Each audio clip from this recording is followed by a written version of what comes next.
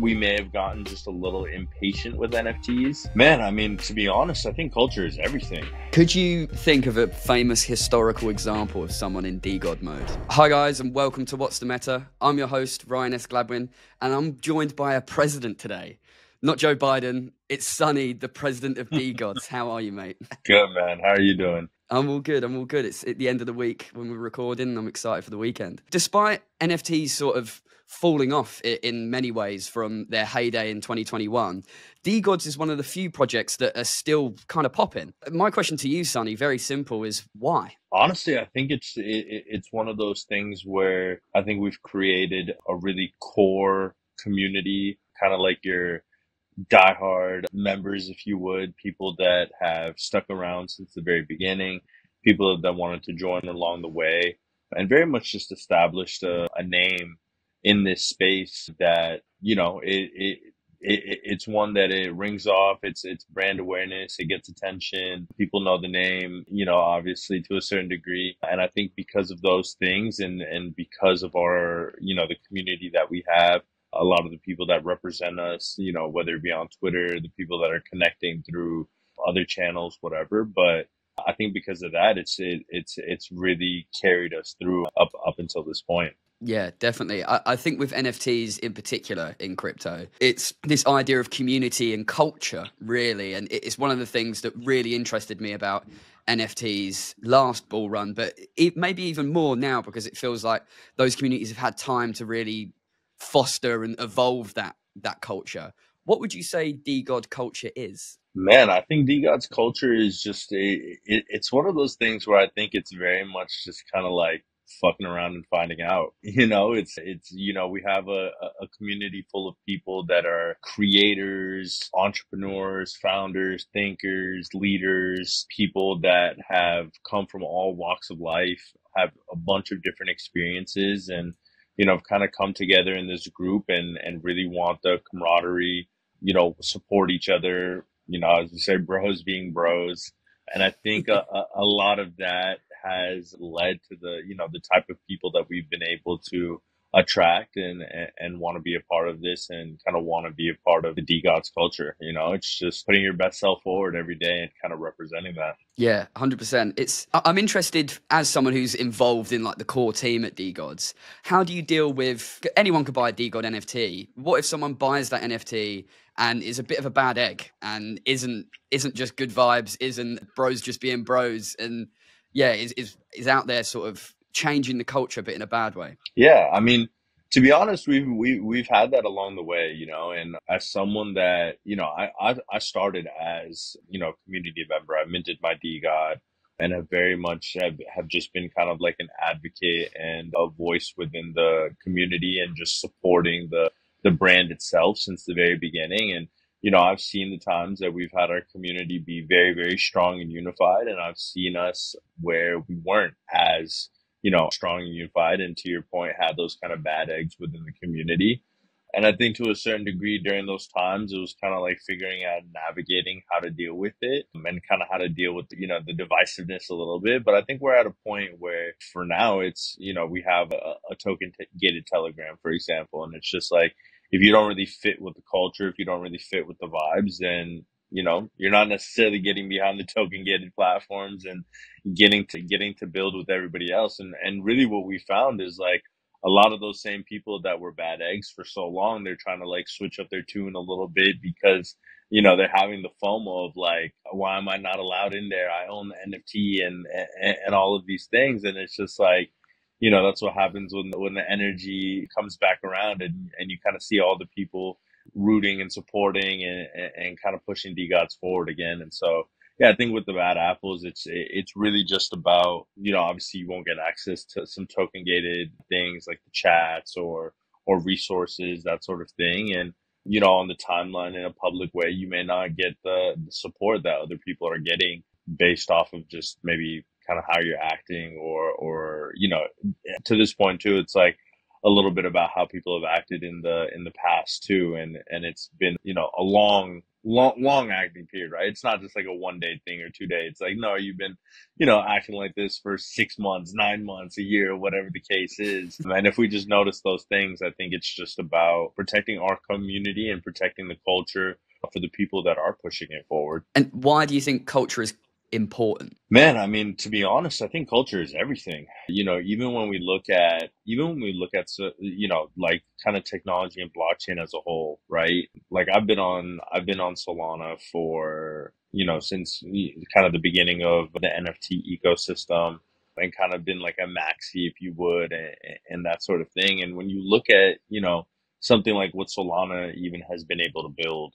it's this aspect of just like a really true organic community and culture and people behind it that are pushing this forward, wanting to build here, wanting to represent, wanting to see this through, even through, you know, some of the most down periods. And when you look at something like that, it's like that, you know, what they've been able to build is, it, it's just culture organically. I think Bitcoin is very much, you know, something similar where there's, you know, you have Bitcoin, but you very much have like this Bitcoin culture of you know, people, you know, whether it's like anti-establishment or this kind of like independent to banks and digital gold and and all of these things, right? And so I think it's one of those things that when you really think about culture, that's kind of what pushes tech forward because it's like this it's like this belief and this just this way that people come together around something. And a lot of it is just like you can't necessarily like you can man make it to a certain degree, but a lot of these things, like a lot of the examples that I've even mentioned up until this point. It's like there's real lore that has come along the way to make that culture what it is, right? Whether you look at like the FTX crash or whether you look at everything Bitcoin's been through. And so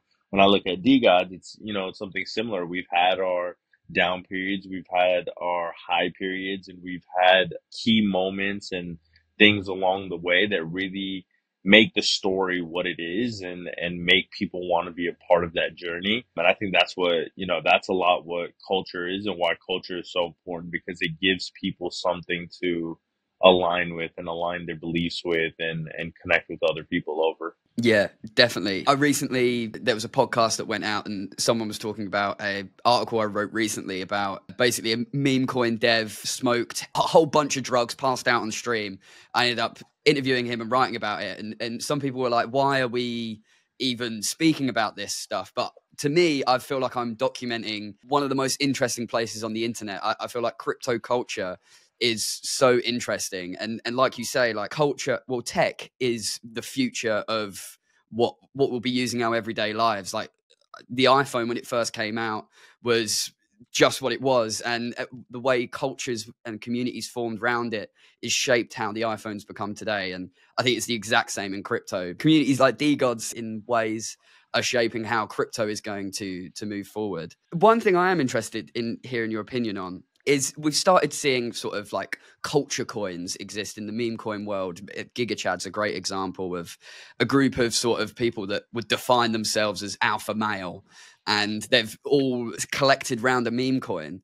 What's the benefit of doing that as an NFT compared to doing that as a meme coin? I think it's a couple things, right? When you look at some of like the biggest culture coins, whether it's GigaChad, whether it's a Mog, whether it's you know Pepe or you, you, even a couple new thing new coins that we've seen. I think the similarities are a lot in this aspect of like art and some sort of representation, right? Like obviously with Mog, you have like the pit vipers and you have people that put it onto their PFPs, right? With GigaChad, you have like the filter that people put on either themselves or on their PFPs or, or, or whatever the case is. And so, you know, I think when you look at NFTs, it's it's one of those things where it's like there was always an art representation right there, right? Like a DeGods PFP is like that's your like that's your like signal of like I'm a part of this group I'm a part of this culture. I'm a part, I like, I have this status or this is my digital identity, whatever the case is. And I think with meme coins, it's like they've kind of employed that a little bit as well when you think of some of the things that like some of the major culture coins have, right? I think with meme coins though, what's pretty great about it is that you know you're able to get so many more users right like with with nfts it's like limited to the 10,000 nfts or whatever the supply is of your collection. Um, but with something like a meme coin, it's just like, you know, someone can be a smaller holder, someone can hold maybe let's say $300 worth of MOG or someone can hold 3000 or $30,000 worth of MOG and all of them feel a part of it. All of them may be signifying in some sort of way that they're a part of it. And so yeah, I think between meme coins and just NFTs, obviously there's different structures and dynamics, but I think in the in the kind of core of it of of what kind of makes that culture is like you have certain things that signify you being a part of that kind of movement or culture, you know, if you would. Yeah, definitely. I, I think NFT cultures, like you say, more tight knit, whereas meme coin culture coins can spread further, but maybe less concentrated, like like a DeGods. What is your opinion on NFTs in 2024 and going into 2025? To me, it's like there's a reason why all of us on the crypto Twitter still are using PFPs to a certain degree right? And we're still signaling certain things as our digital identity. And we've seen so many great things come out from, you know, from NFT projects that are still around, still cooking up, you know, great things from Azuki. I've seen their kind of like short form content on Instagram to, I think they just launched something like anime.com and, and they've been pushing things forward on the content end. You've got you know, projects like Pudgy Penguin that I've been pushing forward for, for IP and consumer apps and consumer IP. Claynosaurz is another one that's doing something similar to that. You have Doodles too, that's like coming out with like a whole movie, I think, and, and having a premiere. And so it's one of those things where I think we may have gotten just a little impatient with NFTs. And I think we may have just, you know, obviously we had a lot of NFTs that didn't make it to these points and, you know, maybe lost, you know, lost along the way. Obviously, you have some that were bad actors, whatever the case is, right? But for the ones that are pushing forward and have continued to build and continue to kind of push things towards like the vision that they're trying to bring out, I think NFTs just you know they just make sense you know even from a even from a perspective of like we've seen so much on rwas right? Nfts that represent some sort of real world asset to a degree like whether it's uh, pokemon cards or sports cards or you know even greater than that any like sort of collectible item whatever the case is. And i think there's just so many different types of use cases to NFTs that we're still kind of scratching the surface on. And so for me, I think it's I think it's something where, you know, I definitely think we see an NFT bull run again. I definitely do think that we see attention and hype back to NFTs, but you know, there's a lot of real, real brands that are building natively from crypto and Web3 through an NFT project. And I do believe that a lot of those are going to be household names one day. And, and, and really it's just about you know, it, it it's time, right? It, it, it takes time. They're not gonna, you're not gonna get this overnight. And I think that was the biggest thing where it's like, where we've had a lot of people needing to adjust to that. Um, and I think we're getting to that point now where it's, you know, people are a little bit adjusted. People have a little bit better expectations, I guess you could say. And yeah, that's kind of where I see, you know, NFTs now and and how I see them moving forward for sure. I think the way you characterize them as brands is really interesting and I think very accurate. Like you said, the the, do- Doodles doing the whole movie thing and Pudgy Penguins with the toys. These are becoming brands that are really they've got more grandiose plans than um, a meme coin, for example. Because in many ways, uh, for this bull run that we've been experiencing so far, it feels like meme coins kind of replaced NFTs in a sense. But like you say, these NFT projects that are still existing, they're building bigger things than just sort of let's raid people on Twitter and make a few good memes. It's sort of let's make a movie, let's get our pudgy penguins into Walmart. One NFT community that is particularly interesting to me, and every time I look at them, I'm uh, it's just like what the hell is going on over there? Is Milady. What, what's your yeah. what's your take on the Milady community? Because that that's sort of it started as one project and now it's like a million projects that have all mutated and are all beefing each other and stuff like that. What's your take on that community? Yeah, no, I mean, you have a lot of derivatives that have come out from it, uh, you know, inspirations. You know, I think Milady's, you know, obviously that community and that project has definitely led the way for a lot of this kind of meme coin stuff. I think you've had a lot of people come out from, you know, come out from that community that, you know, made some of these successful coins, obviously been a part of it, but I think they were kind of one of the uh, communities that brought back this kind of essence of like, hey, like, you know, this is about the community. This is about the network effect that you have. This is about the, you know, the art that you have and there's nothing more, right? There's, there's, there's not like this crazy utility or like, hey, holding a lady gets you this or that or, or whatever it is. And I think that's a lot of what, you know, NFT started as. And we kind of needed to get back to that. And so I think they've kind of, you know, led the way a little bit as far as, uh, as far as earlier this year on just like getting back to that essence of NFTs. I think, you know, they're just going to kind of continue, you know, continue on that pathway of, of, hey, this is like, a really cool community that you want to be a part of. This might be some, you know, dope art that you want as your PFP or you want it to represent. And there's not, there's not going to be some crazy, crazy utility or, or, or, something behind it. And like, that's, that's where the value comes from. And so, yeah, I mean, you know, shout out to them. They've, they've definitely been them and, and a lot of their community members and obviously these other like communities and projects that have come up off them have definitely been super super uh, successful this cycle for sure. Yeah, that whole ecosystem of projects is to me one of the most interesting places in crypto and on the internet. It's I can't tell what is a joke and what is real.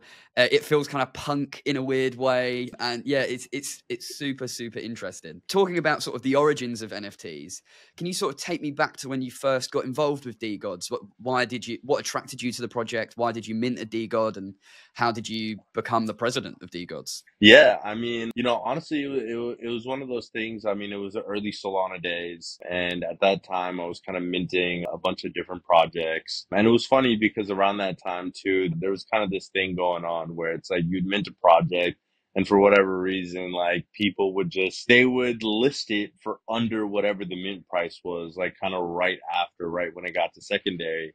And it would just make people upset because it was just like, what the hell is wrong with you guys? Like, why would you mint this for two SOL and then list it for one and a half literally a day later? And so I remember when DeGods was coming, you know, obviously they had this thing called paper hands bitch tax, which was essentially just like this concept of taxing you if you listed it under the floor um, and they would take that and then like burn DeGods from it, try and make it deflationary and all that. But you know, I think the it, it was kind of that idea of paper hands bitch tax that very much like you know got me involved. I know very much rallied a bunch of other people to like want to be a part of it. That's where like thirty three point three percent comes from.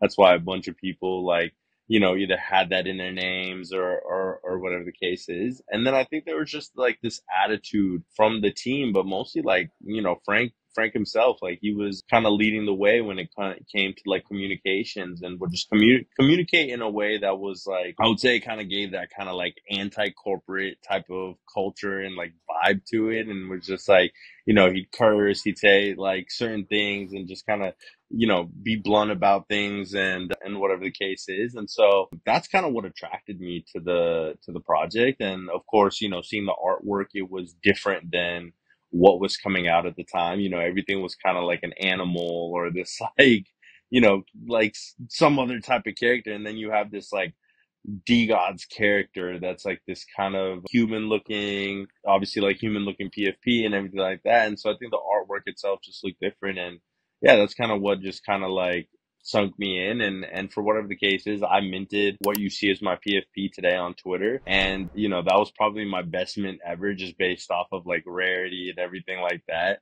But when i saw it and i saw the like the basketball jersey and like the fade and and, and whatnot i think you know like how many people have seen like nfts before there was just kind of like this kind of like this digital identity aspect to to this nft and so I made it my PFP then and and kind of made the decision that I was going to deep dive into this community as far as just like being a part of it, pull posting, working your bags before we even talked about working your bags. And, and yeah, it's just, it, it, it was just a great experience, like right off the rip because we weren't necessarily successful right out the gate, right? Like the first four months of DeGods was pretty bumpy ride as far as just like floor price and, you know, the team finding, you know, things that are going to be successful and, and really kind of like push the project forward. Like that first four months was definitely a little bit of a bumpy road. But one thing that stayed true was like right, right after Mint, it was like the community was just super strong.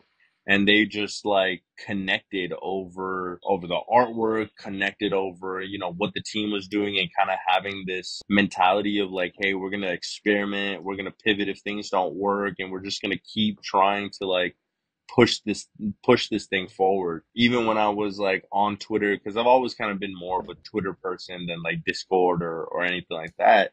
And there was just like all this support between between us DeGods, right? Like we would retweet each other's stuff we would like it comment on things and I think it helped just a lot of us like grow each other's platforms. And yeah, just kind of like continue that path like all the way, you know, all the way as as as much as I could, right? I just kept fully getting deeper into it. Um, I started like making merch. I started connecting with more people. I started like the merch thing kind of led to me like hosting some events that were specific on like basketball events and like doing this kind of like pickup games, you know, type of event within crypto and and kind of seeing if there was even a market for that. Found that there was and kind of continued that through and that kind of just kept snowballing into things like working with the killer threes, getting to meet a bunch of holders IRL. And so, yeah, when the president thing came around, I think it was one of those things where I kind of put my name in the hat, if you would, without really thinking too much of it.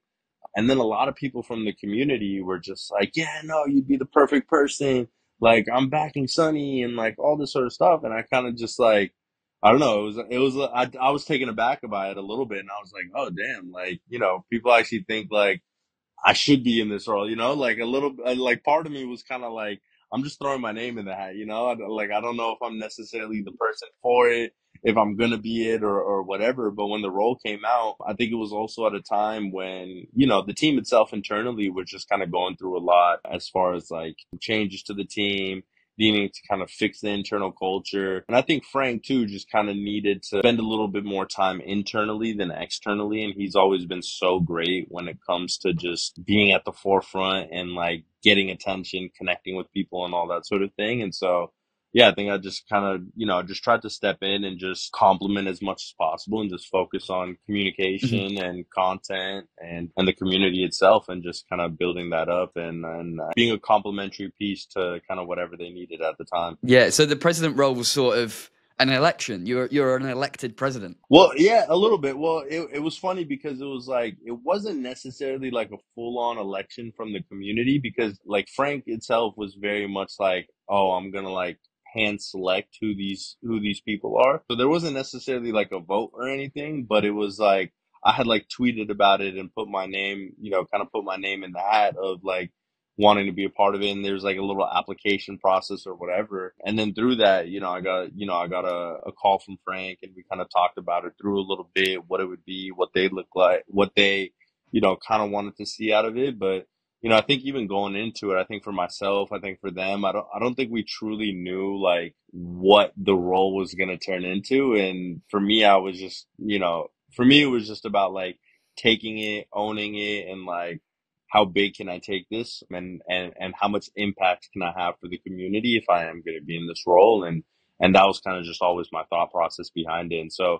it was kind of a a, a thing where we're just like whatever I think we had started from and what, what we thought about it, I don't think I don't think either party saw that it was going to be like what it is today and like what I've you know been able to do like this year and that sort of thing. Yeah, when was that? That was at the end of last year is when the like the whole president thing went live. Okay. So like I think November is when it got announced, and then December is when like decisions happened and like announcements and everything like that. And it's kind of just been rolling through this entire year. So during that time, under your uh, your tenure as president, how has DeGods evolved? Oh man, I mean, I came in at a time when it was kind of like you know I wouldn't say we were necessarily at like the lowest, but we were definitely at a pretty low period just based off of coming off of season three and kind of how that affected the community. You know, when price change and fluctuates, that changes things within the community. And so we were kind of coming off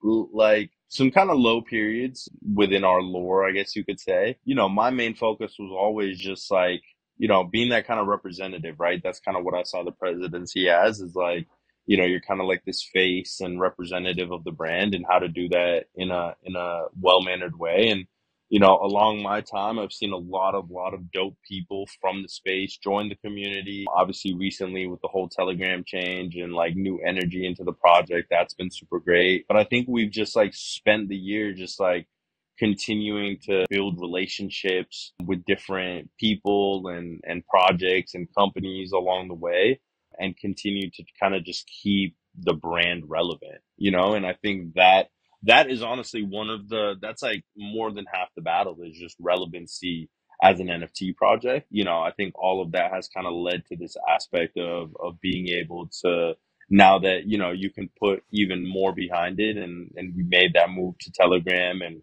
kind of re-energize the community a bit. I think that comes a lot from this aspect of just, you know, keeping the brand relevant and keeping working and like collaborating with people within the space. Earlier, you mentioned lore as like a, a big thing for NFT projects, meme coins as well, and maybe just crypto as a whole. Really, we, we've got so much lore going on all the time.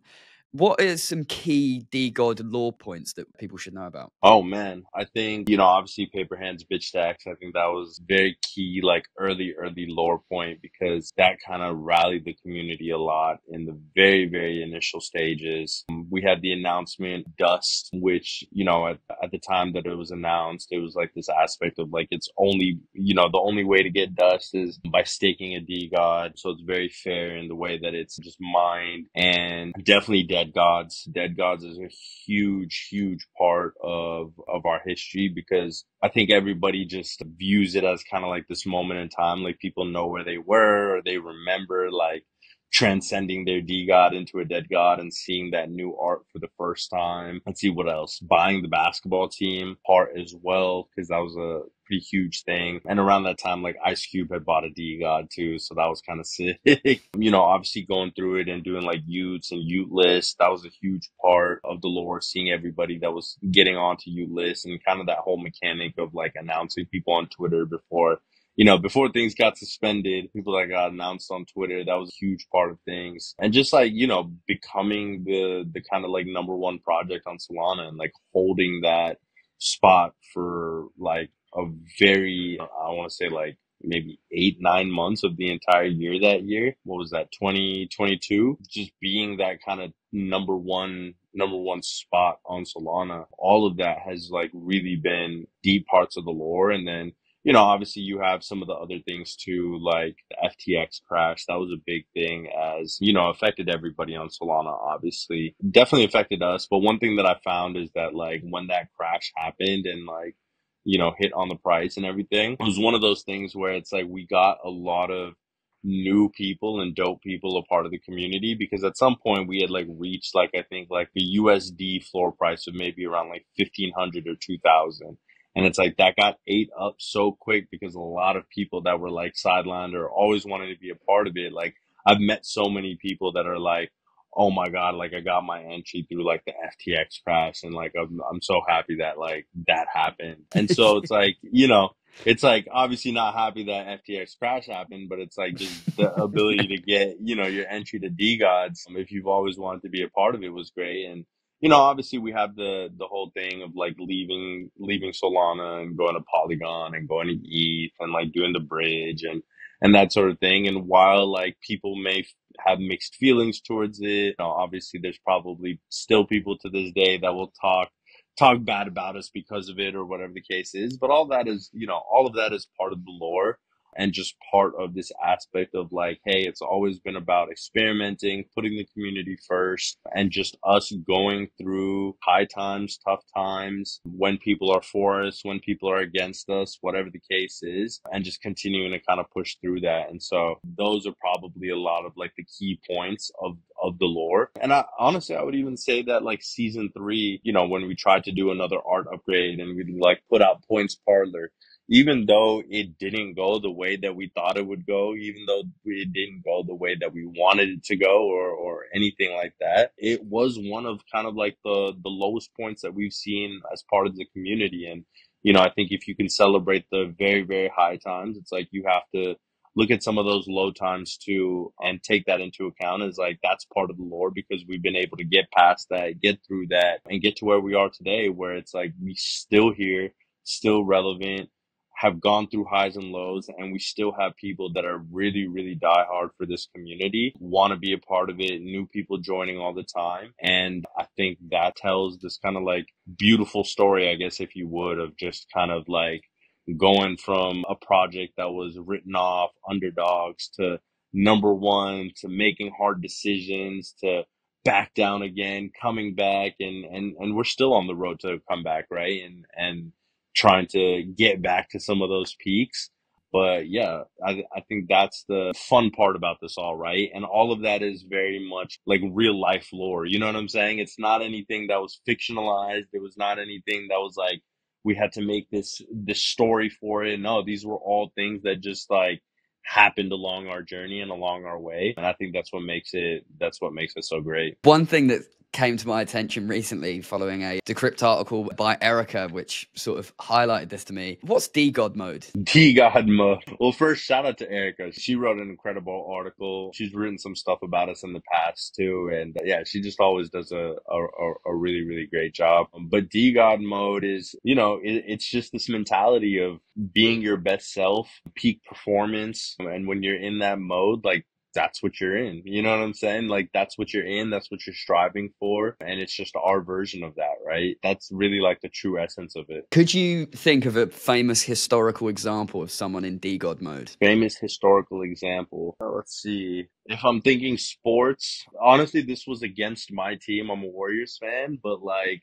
when LeBron came back 3-1 against the Warriors, he was definitely in DeGod mode. Like I remember when Michael Phelps won all those all those Olympic gold medals, like he was definitely in DeGod mode, you know, like you just hit like this kind of you just kind of hit this different zone and and I think that's that's very much what it's about. I don't know if you saw the movie Air about like Nike signing Michael Jordan, you know, Nike early days and how they were able to sign Michael Jordan. Definitely, definitely Phil Knight and them were, were in DeGod mode when they were going after him, recruiting him, not taking no for an answer and just like continuing to build out and obviously they built one of the most iconic sneakers ever so you know even from a business standpoint like that's you know, that's definitely one of those things too. We're running out of time, so I've got one last question for you, Sunny. What is your prediction on what will happen to the NFT landscape coming over the next year? Ooh, over the next year. You know, kind of going back to crypto native brands, it's going to be another year where you know these brands and projects have been able to build establish more hopefully onboard more people along the way even if it's not owning the nft but just being fans of what they're building out. That's how you very much expand your NFT collection project is like you want people that also are just rooting for you and and and kind of aligned with your brand even if they don't own the NFT itself. And so I think over the course of the next year we're going to see a lot of that and we're just going to see a lot more of these native brands be at a, at a at a bigger scale. And hopefully you know, we we see that kind of NFT bull market be sparked back around and and attention from people that are in this space. It be on NFTs. People are buying NFTs. Obviously, price go up. We we love when that happens. I think that's what we see over the course of the next year is is kind of that attention being redirected back to it. So you could say maybe the NFT market is going to enter DeGod mode. NFT market is going to enter DeGod mode over the course of this next year. I love that. Let's go. Okay, thank you so much, Sunny. Thank you, man. I really appreciate it.